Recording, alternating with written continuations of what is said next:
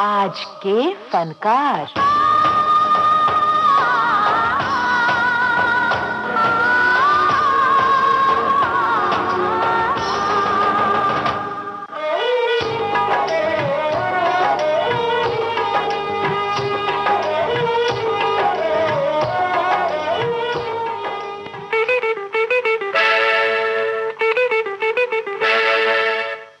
फ़िल्मों में हम हीरो हीरोइंस को एक से बढ़कर एक सजीली पोशाक पहने हुए दिखते हैं। और कभी भी हमारे जहन में ये सवाल नहीं आता कि आखिर इन पोशाकों को डिज़ाइन कौन करता होगा?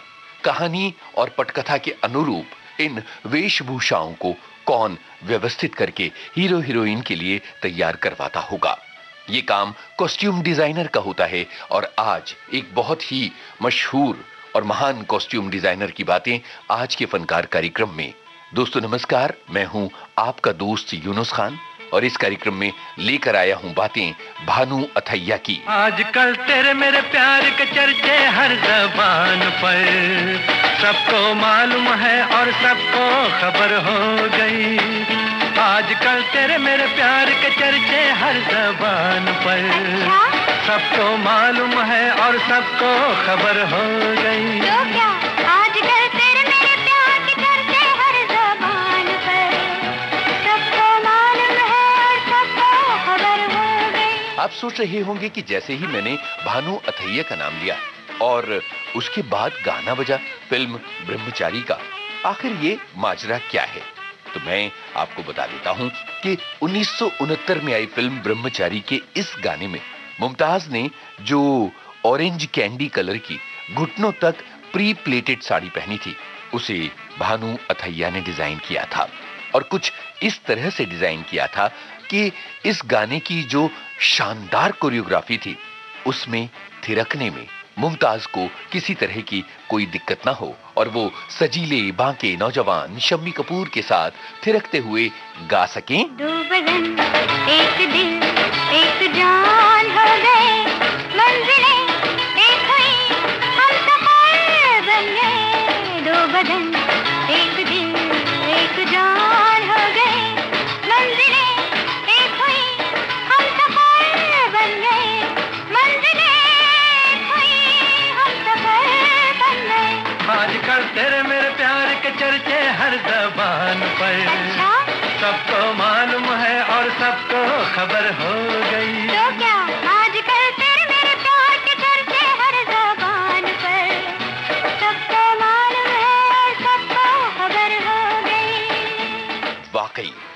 भानु की डिज़ाइन इस ड्रेस में मुमताज़ की शोख अदाओं ने लोगों का दिल चुरा लिया और हर जबान पर चर्चे आ गए।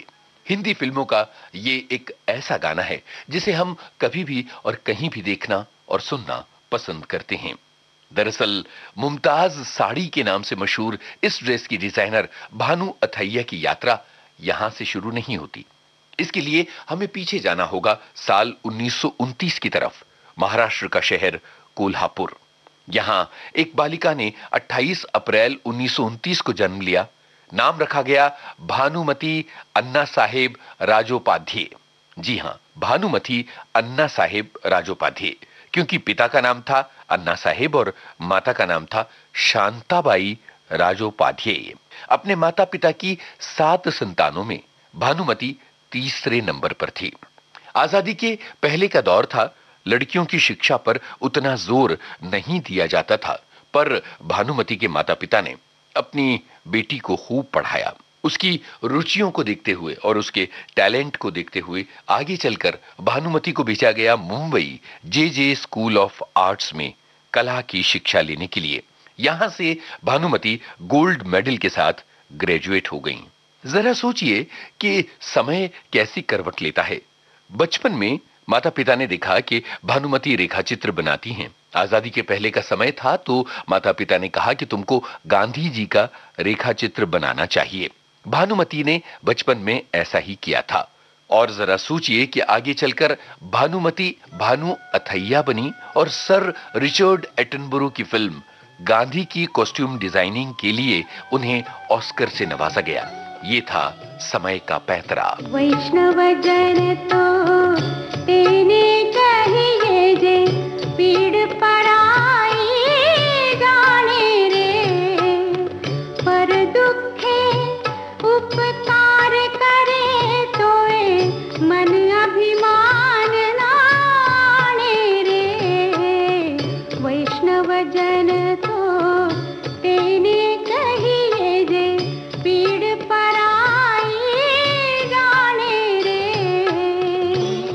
भानुमति का विवाह सत्येंद्र अथैया से हुआ था, जो एक कवि और गीतकार थे।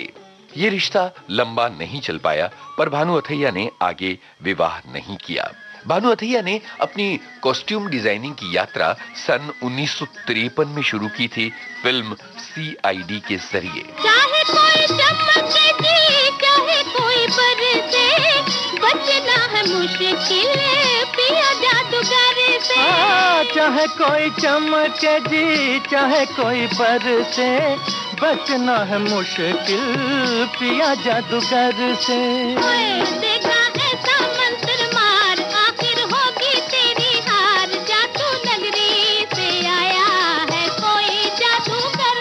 लेके पहला पहला प्यार भर के आँखों में खुमार जादू नगरी से आया है कोई जादूगर वो लेके पहला पहला प्यार इसकी बात तो हिंदी सिनेमा में ड्रेस डिज़ाइनिंग को लेकर उन्होंने एक नई क्रांति ला दी किसी जमाने में भानु अथैया महिलाओं की पत्रिकाओं के लिए फ़ैशन विशेषज्ञ के रूप में काम करती थीं। फिर वो परिधान डिज़ाइनिंग यानी कॉस्ट्यूम डिज़ाइनिंग की दुनिया में आ गई। अब आपको सुनवाते हैं फ़िल्म श्री 420 का नगमा। ये फ़िल्म आपने देखी ही होगी, इसलिए आँखें बंद करके याद कीजिए इस गाने में थिरकती हुई नादिरा को, जिनके लिए गाउन तैयार किया था भानु अथैया ने ही। और ये कॉस्ट्यूम कितनी बड़ी हिट हुई थी, उस दौर में जीने वाले लोग अच्छी तरह से समझ सकते हैं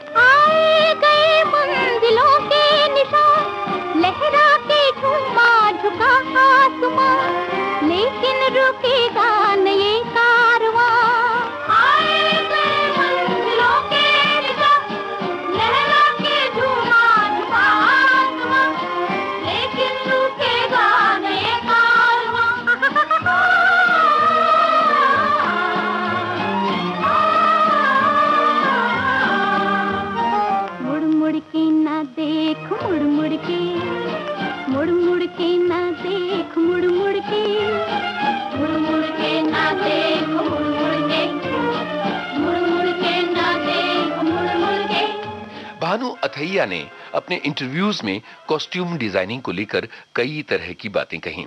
उन्होंने कहा कि एक जमाना ऐसा था, जबकि डायरेक्टर सेट डिज़ाइनर और किसी टेलर को लेकर बैठ जाते थे और स्टोरी के मुताबिक कपड़े सिलवा लिया करते थे।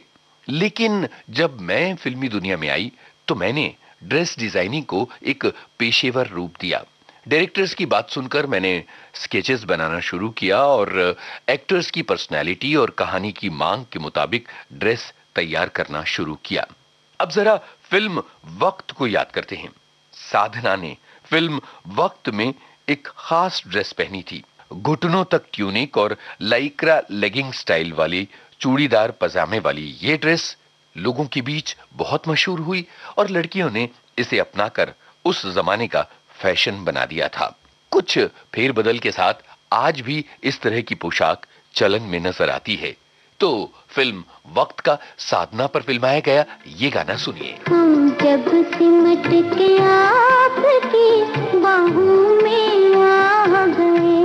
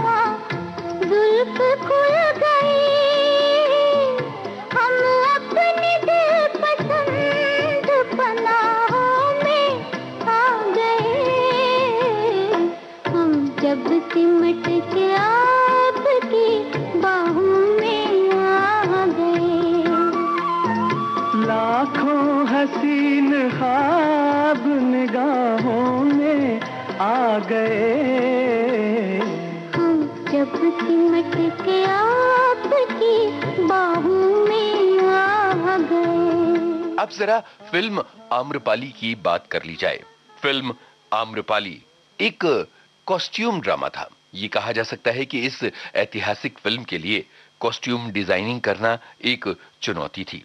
भानु अथैया ने अपनी पुस्तक में इस बात का ज़िक्र किया है कि उन्होंने अजंता की गुफाओं में बनी पेंटिंग से प्रेरणा ली। बौद्ध भिक्षुओं के लिए पहने जाने वाले हल्के गेरुए रंग के कपड़ों को डिज़ाइन करना आसान नहीं था। इस दौरान इन कपड़ों को पारिजात के फूलों के रंग में रंगा जाता था। इस फ़िल्म में आम्रपाली का किरदार निभाया था वैजयंती माला ने और उन्होंने जो पोशाकें इस फ़िल्म में पहनी, उनको भानु अथैया ने बड़ा सोच समझकर डिज़ाइन किया था। कुछ इस तरह से कि स्किन फिटेड ड्रेस होने के बावजूद ये भद्दी न लगे, कहानी के अनुरूप उनमें एक गरिमा हो, एक ठसक हो और एक सजीलापन हो। इसी फ़िल्म में सुनील दत्त ने मगध के सम्राट का किरदार निभाया था और भानु अथैया ने उनके लिए क्लासिक धोती तैयार की थी। फ़िल्म आम्रपाली, अपनी कथा वस्तु वैजयंती माला के अभिनय और उनके नृत्यों के साथ साथ शंकर जयकिशन के संगीत के लिए भी याद की जाती है और बहुत कम लोगों का ध्यान इस बात पर जाता है कि फ़िल्म आम्रपाली को सजाने में एक बड़ा योगदान था भानु अथैया का। जब फूल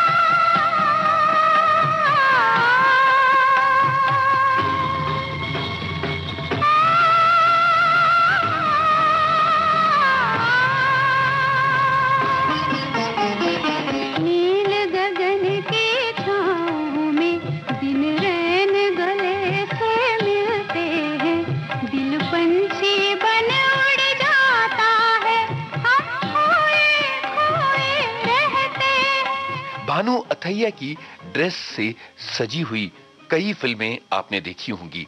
पता नहीं आपका ध्यान इन फ़िल्मों में हीरो हीरोइन की पोशाकों पर गया या नहीं गया।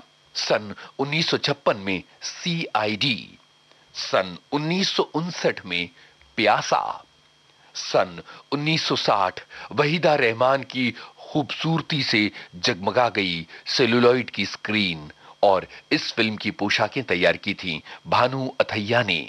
और लोग क्या है उठे। चौदवी का चाँद हो या आफताब हो जो भी हो तुम खुदा की कसम लाजवाब हो। चौदवी का चाँद हो। सन 1964 में भानु अथैया ने फ़िल्म साहब बीवी और गुलाम के कलाकारों के लिए ड्रेस डिज़ाइनिंग की।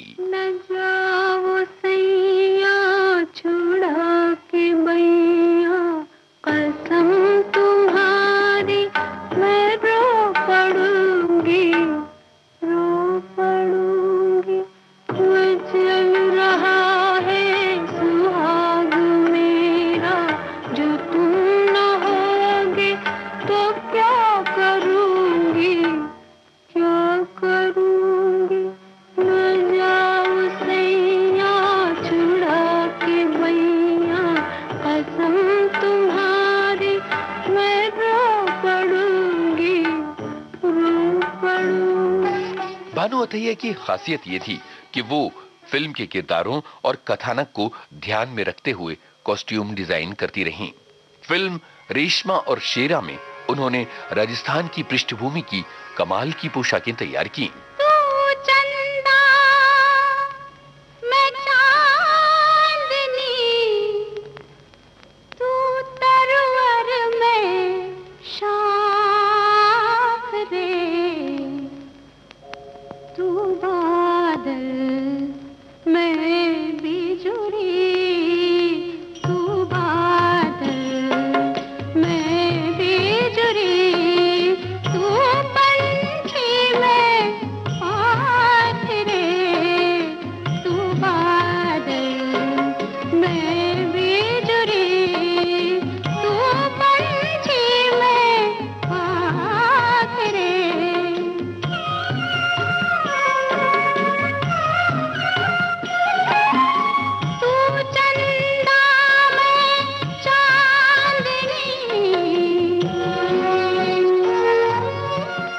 सन 1990 में एक बार फिर से राजस्थानी पृष्ठभूमि की पोशाकें तैयार करने का उन्हें मौका मिला।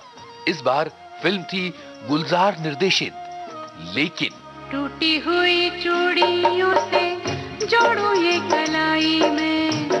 पिछली गली में जाने क्या छोड़ आई मैं?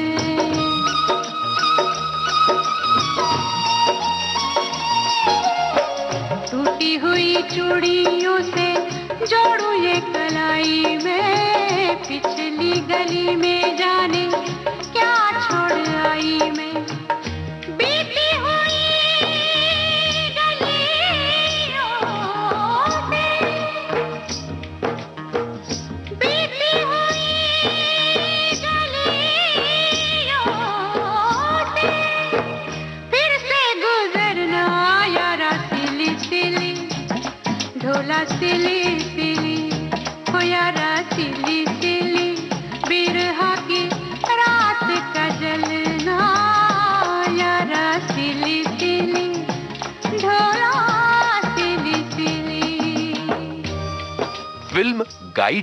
वहीदा रहमान की पोशाकें भानु अथैया ने ही तैयार की थी।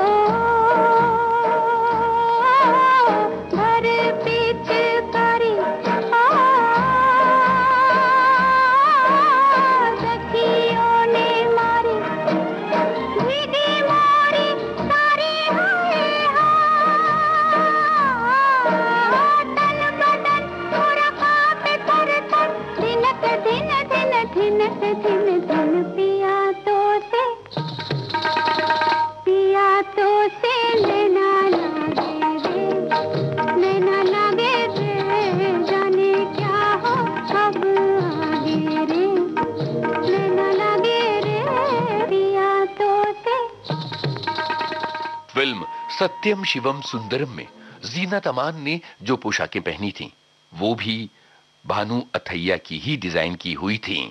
सत्यम शिवं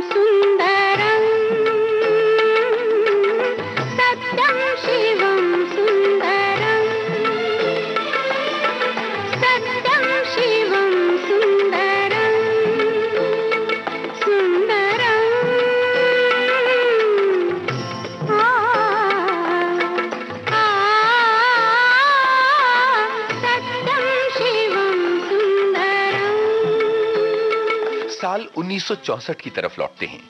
वैजयंती माला राज कपूर, राजेंद्र कुमार, फ़िल्म संगम। इस फ़िल्म के लिए क्रेप सिल्क की साड़ियाँ वैजयंती माला के लिए चुनी गईं। जरा इस गाने को याद कीजिए। राज कपूर, राजेंद्र कुमार वैजयंती माला शंकर जयकिशन की धुन और मुकेश की आवाज़। साथ में लता मंगेशकर। बिसरी मेरे हँसते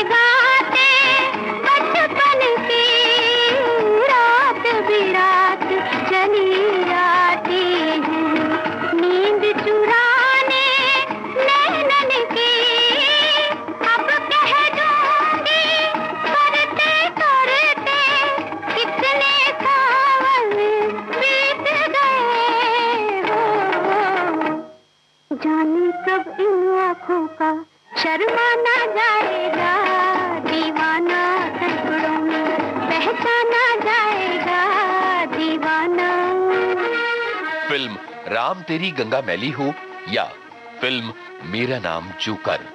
इन फ़िल्मों की ड्रेस डिज़ाइनिंग के पीछे भानु अथैया की प्रतिभा थी। कमाल अमरोही की फ़िल्म रजिया सुल्तान के लिए भी ड्रेस डिज़ाइनिंग का काम भानु अथैया ने किया था।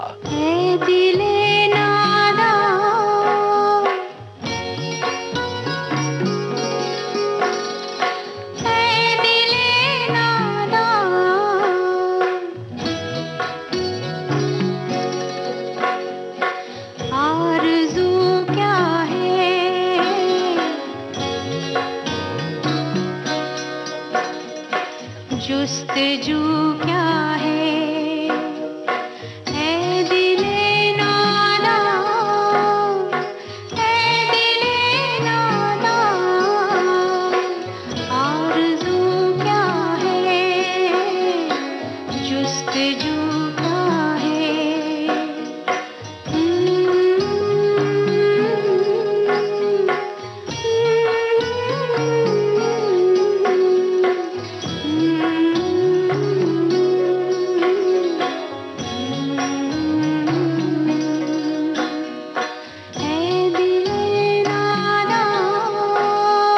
फ़िल्म गांधी की बात कर ली जाए।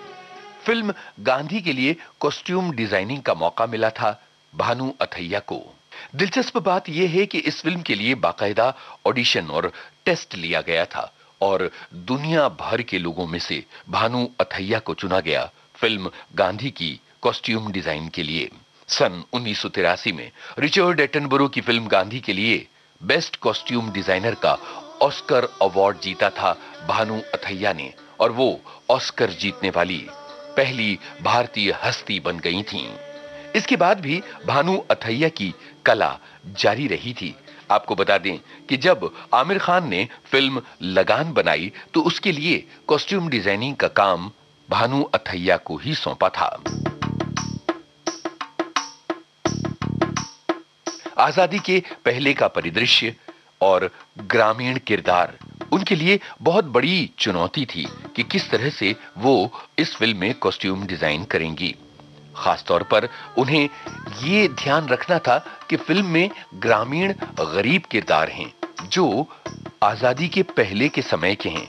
खूब रिसर्च करने के बाद उन्होंने फ़िल्म लगान के किरदारों के लिए कॉस्ट्यूम्स तैयार की थी। आ जा रे, आ जा रे, आ जा रे, आ जा रे। भले कितने लंबे हो रस्ते हो, थक न तेरा ये तन हो। आ जा रे आ जा रे सुन ले पुकार डगरिया, रहना ये रस्ते तरसते हो।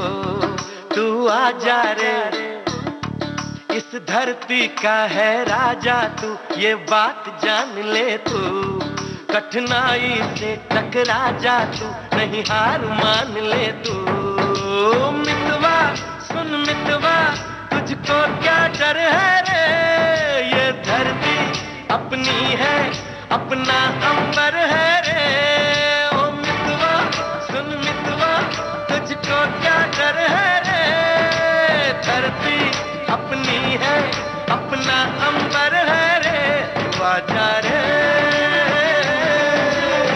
आशुतोष गोवारीकर की फ़िल्म स्वदेश के लिए भी ड्रेस डिज़ाइनिंग का काम भानु अथैया ने किया था।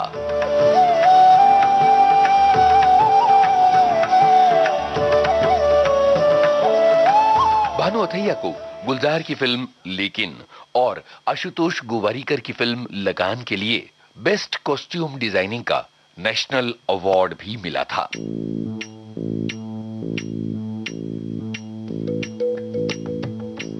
कॉस्ट्यूम डिज़ाइनिंग की अपनी इस पूरी यात्रा को उन्होंने एक किताब में संजोया है, जिसका नाम है the art of costume design. परिधान डिज़ाइनिंग के शौकीनों के लिए ये किताब किसी महत्वपूर्ण ग्रंथ से कम नहीं है।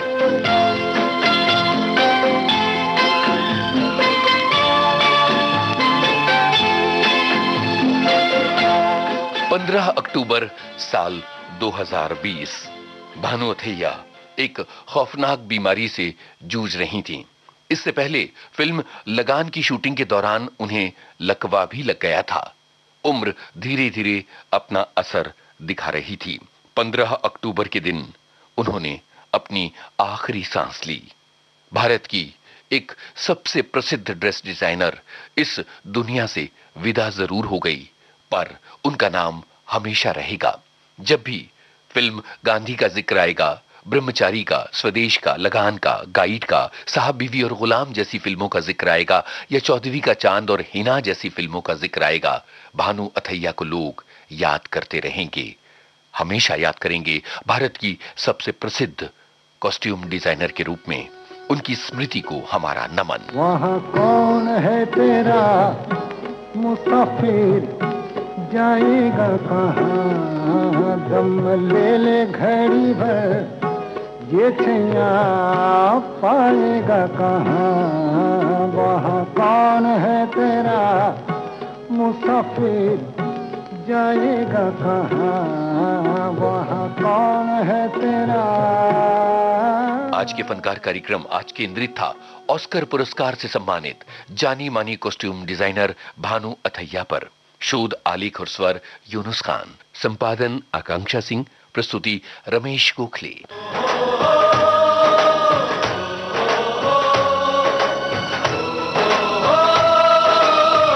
आज के फनकार।